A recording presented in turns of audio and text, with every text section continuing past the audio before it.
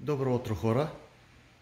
Пак съм аз, Свети Петко, но този път не от гаража с моторите, ами малко на градинарска тема. Сега ще кажете, какво ми показва тос, тази диня тук така?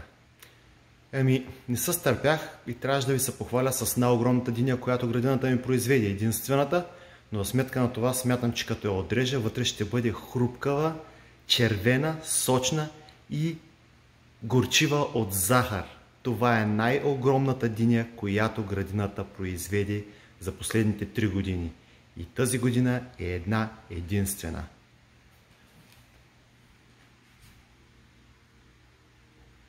О! Ма какво стана? Дината ми ли се смали толкова много? Или доматито стана много гигантско? Ей, ма какво ще правим сега?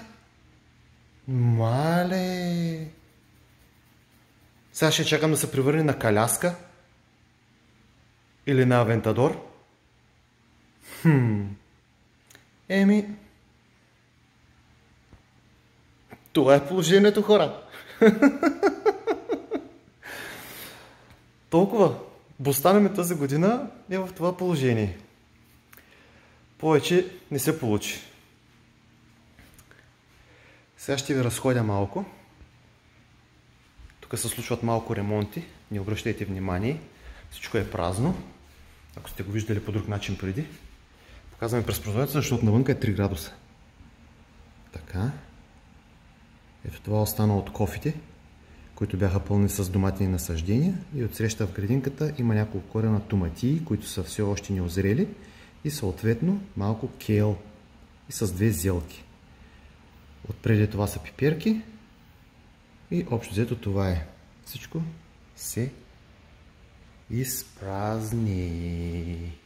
Стаята се изпразни и съответно градината също се изпразни. Водата в Маркуча още не е замръзнала обаче. Ето купривките. Направо ме е страх да изляза навънка. 3 градуса. 3 градуса. Голям бахър. Така. Последните плодове съответно обрани. Тук тези сме ги оставили малко да порозовеят. Този порозовя. Очаквам съответно и този да порозовее. Така. Какво ще правя с тази голяма диня и на колко човека трябва да я разделя? Просто нямам си на представа.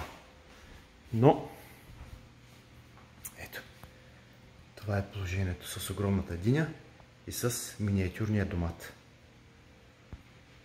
Това е за днес хора. Всичко добро. Лек ден ви пожелавам. До неделя с моторчетата. Чао!